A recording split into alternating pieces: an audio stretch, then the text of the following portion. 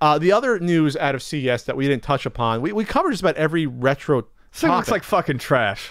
Okay, Ian, I was going to ease into it. Uh, the Retron Junior lets you play all your tiny Game Boy games on your giant HD TV. This comes from Hyperkin. Uh, so what what this is is an uh, emulation based uh, console where you can uh, it's it's a cute little cube. It comes with a little controller and it's for a Game Boy, Game Boy Color, and Game Boy Advanced titles via HDMI out uh, here.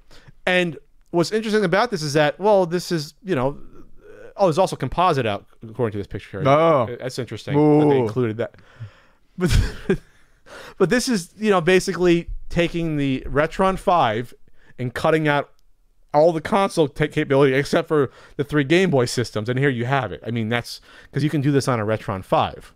You know, it's it's it's an emulation box that accepts you know uh, games that you read the ROMs of. Right, that's what you're doing here, uh, and it, it's 720p output, and uh, yeah, I, to me, the question for this is whether or not you think there's a market for something like this and i do think there is a market for this i do i do think there's people that maybe they they're fond of just just game boy maybe they just like playing the old school uh, pokemon uh, game boy and game boy advance and game boy color games and they think you know this could be cute to play on a, a big tv i don't i don't think this is a dead in the water uh, product. Maybe you disagree.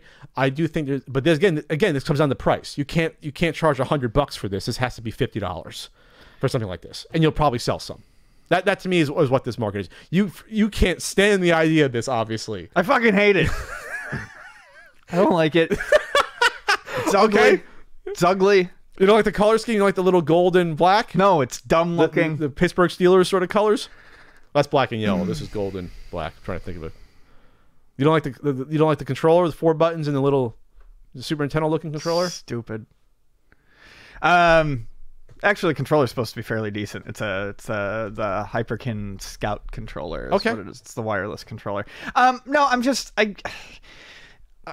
It looks like dog shit. What looks like dog It shit? It looks the, awful. The actual console or the who, idea? Who designed it? I, I think it's cute. It's like a little mini GameCube. There's nothing cute about it. It's awful looking. It hurts my eyes. Um, it's sort of the same look of, as the uh, the the Retron uh, the the the, the 2600 one kind. I'm not in terms into of the angle on the side. I'm not into the Hyperkin emulation boxes. Okay. Um, anything that they've done that's been at, like the Retron Five was just kind of like a mess all around. Uh, I don't think I- I'll have to. We'll. I, I, and here's the thing: we'll have them at the store because people will want these. People will want these. Um, I, I, I don't.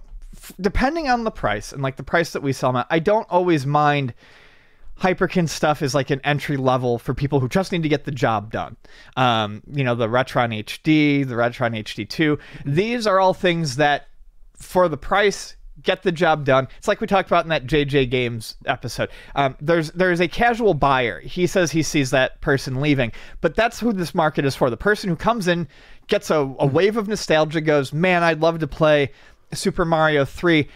Hey, do NESs hook up to modern TVs? Yes, they do, but you can get this for I'm like they do in a way, but you know, this Retron HD is, you know, 40 bucks and it hooks up, boom, boom, boom, plug it in, you're playing, you're good to go.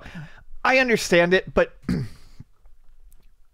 I don't necessarily see a huge market for this, and I think the people who are looking for something like this are probably people who are looking for better options. Something like the analog pocket or the consolizer. well, that's going to be a lot like more money though. Right. And then you can't. Well, you can play it on TV, but you have to connect it via this. You sort of play it on a controller or the handheld device, but then it's going to the TV still. Um, I'm trying to see reviews. I think the, Re- the the the Retron 77 got decent reviews. I'm trying to find them. Yeah, that one was emulation too. Of course. Uh, it's on, on oh, Google. It's at three point nine out of five. That's Google. I'm trying to find. Uh, I'm trying to find an Amazon listing. So so that you can buy uh, between sixty and seventy dollars. Some places you can get it for under sixty for the Retron seventy seven. So this is probably going to be fifty dollars, just because I think that seventy seven has it has like the switches and it, ha- looks like it has more buttons, it has more parts. Yeah, I think this will it. probably be 50 as well. Uh, I think once you get above sixty for something like this, you're not gonna you're not gonna have any buyers. I think it's interesting that they also include a composite. obviously, they probably did that with the Atari as well because it would make sense. Did they include it uh, that with the Atari? Uh, Well, it makes sense if it was an older, uh, older sort of thing. But anyway, I'm just surprised they included it for the for this. That seems unnecessary. But maybe was, yeah, Yeah. maybe that's all in their one little board, their output board, so it's cheaper for them to do, not to switch it out.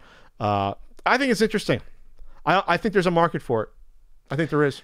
There's gonna be a lot of Pokemon players, and uh, are, are there any hardcore Game Boy players that are, are don't play anything else? What is have- interesting that I'll point out is I do think it allows uh, for I think I read somewhere that it allows for link cable, uh, which is neat. You'll be able to treat it kind of like you would like a super. You could hook up one to one TV, one to another TV, and do two players on two TVs there.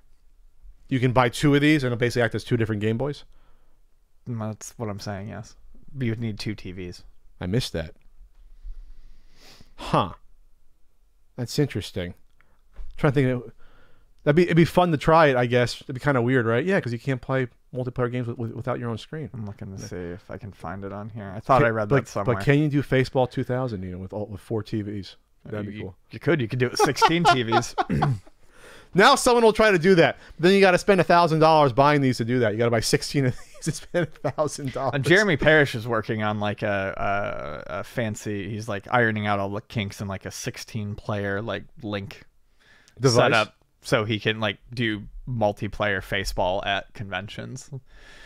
I think he tried that last year or the year before. creating creating like a single link to do it without having I- piggybacking it. Well, no, you you do. You, it, it, you have to link a bunch of them together. But I think it, I saw pictures of something online. Anyways, it looked like he was soldering up something special. That's the dream. Faceball 2000 on Game Boy. 16 players. I don't. I think I played it once multiplayer at my cousin's. My cousin had the had the four player adapter there. I think it was one time I did there. Okay. All right. Well, You know what? If this is for you, it's for you. it's for me, Ian. The same way the Xbox Series It's X, Xbox Series X is going to be. It's not for me. It's, Okay. it's not for me. Well, you, you'll It's sell fine. in the store. You'll, you'll turn a profit It's great. at the store. Okay.